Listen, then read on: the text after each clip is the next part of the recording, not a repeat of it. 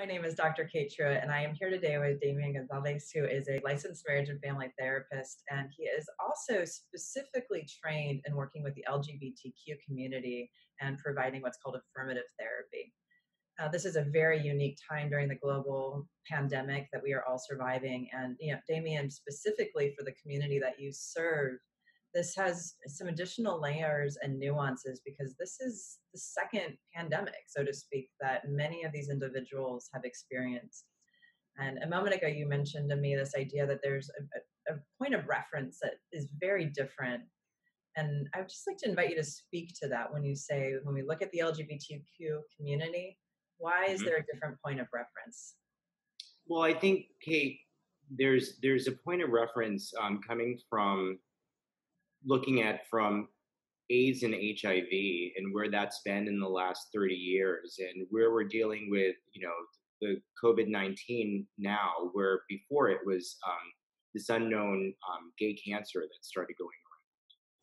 And like like most pandemics, you don't know where they start. You don't know what the thing is. I think also the difference, a big difference, is now we're connected electronically, so we get access to information sooner. When before uh, this specifically this demographic that we're looking at and basically the world at that time we we didn't know where it was coming from we didn't know what was happening and a lot of people were very directly affected by it. and even you know i think back to the 80s and 90s which mm-hmm. i was alive and mm-hmm. the lack of connection communication is one thing but there's also this additional piece where i mean even president reagan didn't say the word aids or hiv in national media until the pandemic had been going on for how many years so yeah it, wasn't it, he never said that in this whole entire administration that oh, came wow. later and also we you know we didn't have the internet we didn't have you know there was a lack of a lot of resources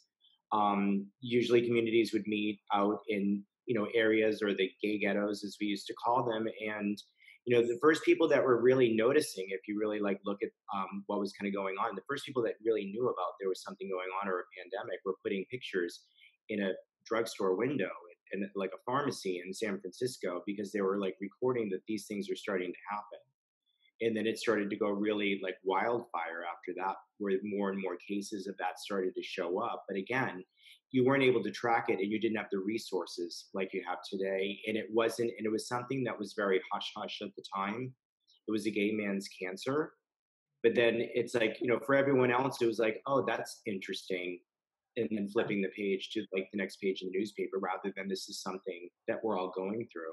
It's happening right now. Mm-hmm. Part, I, I wonder if there's a little bit of this experience of what's happening right now with the coronavirus pandemic is what should have happened then, but didn't.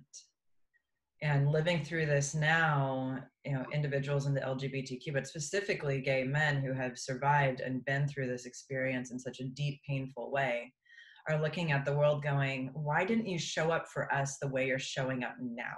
Where mm-hmm. were you? I, I mean, well, that's a marginal community. You know, yeah.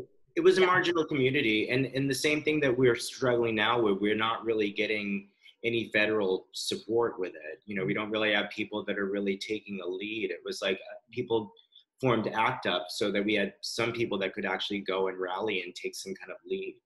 And people were getting together. It was like, a, I mean, it was a thing. It was another community that would like kind of, they, they all kind of tried to do their best to kind of come together and it was part of the uprising.